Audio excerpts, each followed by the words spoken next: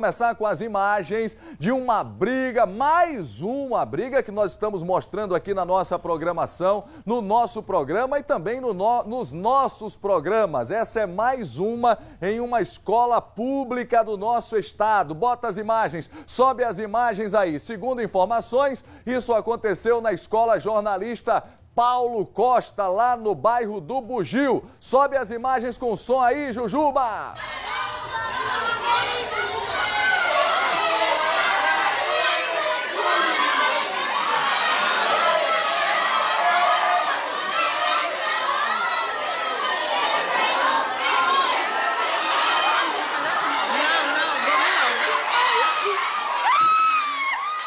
Meu Deus do céu.